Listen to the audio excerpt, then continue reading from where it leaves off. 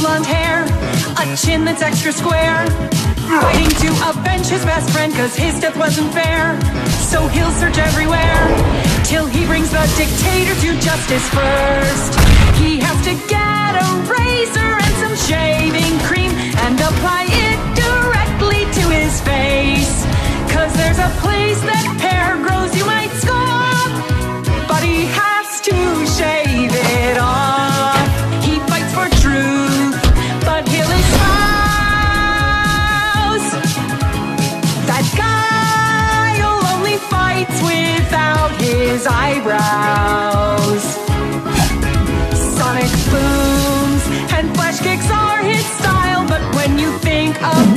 Remember him.